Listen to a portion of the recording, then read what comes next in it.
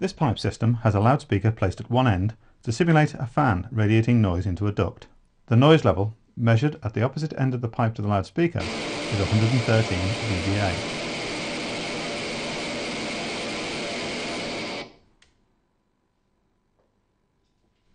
The centre section of the pipe is removable to allow different sections to be installed.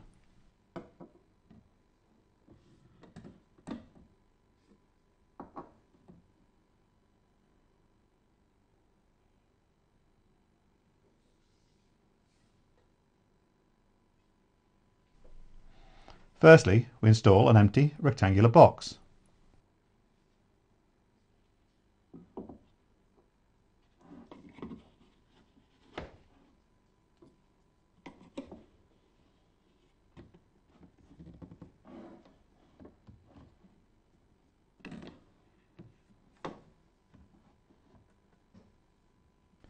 This box is an expansion chamber which acts like a simple reactive silencer.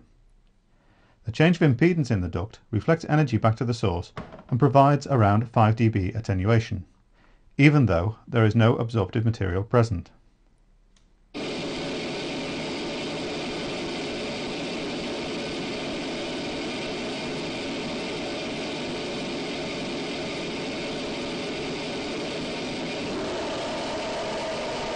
When the sides of the expansion chamber are lined with open cell polyurethane foam, we create a simple absorptive silencer.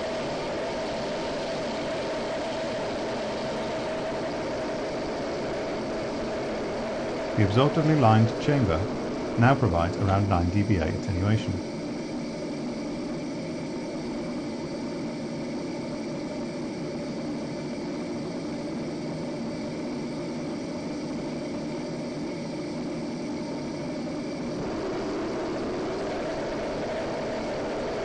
Increasing the amount of absorptive material in the chamber by adding open cell foam to the top and bottom of the chamber significantly improves the silencing effect, increasing the attenuation to around 17 dBA.